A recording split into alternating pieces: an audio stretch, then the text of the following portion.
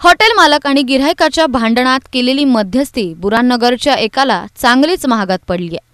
Hotel मालक धाडगे कुटुंबियांनी फक्त भांडणात नाक खुपसल्याच्या रागातून दीपक भगत यांचा जीव घेण्याचा प्रयत्न केला. धाडगे यांनी त्यांचा हात आणि पाय मोडलाय. भगत यांना कुऱ्हाड तलवार लोखंडी रॉड आणि लाकडी दांडक्यांचा वापर करून तुडवण्यात आलं. भगत हे पाच दिवस रुग्णालयात उपचार घेऊन आता घरी आलेत. भिंगार कॅम्प पोलीस ठाण्यात तक्रार देखील देण्यात आली आहे. पोलिसांनी तक्रार दाखल करून घेतली आहे. तपास चालू आहे असं ते सांगतायत. पण आरोपींना अद्याप अटक केली नाहीये. त्यामुळे न्याय मिळवण्यासाठी भगत यांना पोलीस ठाणे पोलीस अधीक्षक कार्यालयांचे उंबरे झिजवावे लागणार आहेत. घटना घडून इतके दिवस झाले तरी आरोपींना पकडण्यात न आल्यानं आता भगत यांच्या मनात दहशतीचं वातावरण कायम आहे. भांडणात मध्ये पडल्यानं जीवावर बेतल्याच्या प्रसंगातून बाहेर पडलेल्या भगत यांना आता न्याय मिळवण्यासाठी आत्मदहनाचा आणि आमरण उपोषणाचा इशारा द्यावा लागतोय. चार पाच दिवसापूर्वी भगत हे नागरदेवळे इथल्या हॉटेल प्रीतममध्ये जेवायला गेले होते. तिथे काउंटरवर ग्राहक आणि हॉटेल मालक प्रीतम धाडगे यांच्यात बिलाच्या व रकमेवरून बाचाबाची आणि मारामारी सुरू झाली होती. त्यात भगत हे न राहून मध्ये पडले तर प्रीतम धाडगे आणि त्यांच्या साथीदारांनी त्यांना हातपाय तोडून हातात देण्याची धमकी दिली. मी दीपक रावकर भगत राणा बुरानगर मी हॉटेल प्रीतम नागरदेवळे येथे जेवायला गेलो असताना तिथेल टेबलवर दुसऱ्या केसमध्ये आणि त्या मालकाची वाद होत होते. तेव्हा मी मध्ये बोललो मध्ये बोलत असताना त्या मालकाने मला दम दिला की तू मध्ये बोलू नको नाही तर तुझा हातपाय मोडून टाकेल. तर तिथं झालेला प्रकार मी सोडून दिला आणि नंतर मी घरी जाण्यासाठी निघालो असता बाहेर दोन अज्ञाती सम थांबलेले होते.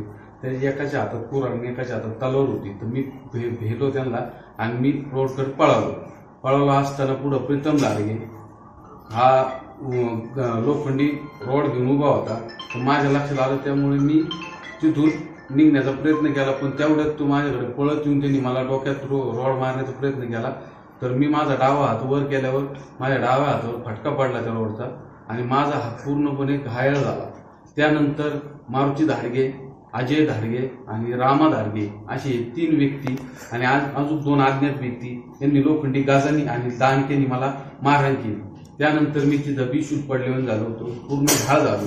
आणि त्यानंतर म- त्याच्यातून पळून गेले. गर्दी जमल्यानंतर पळून गेले. तर त्यावेळेस मी कोणाच तरी मोबाईलवरून माझ्या आईला फोन केल्यानंतर आईची दा आली. आणि मग नंतर मला त्यांनी दवाखान्यात नेलं.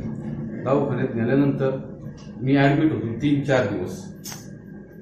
आणि त्यानंतर आता आज मला तिसरा चौथा दिवस आहे. माझा पाय आणि हात पूर्णपणे फ्रॅक्चर आहे. हाताचं ऑपरेशन झालेलं आहे. आणि पायाला डॉक्टरांनी लिगामेंटला प्रॉब्लेम सांगितलेला आहे. तीन महिने मला बेड रेस्ट सांगितलेले डॉक्टरांनी.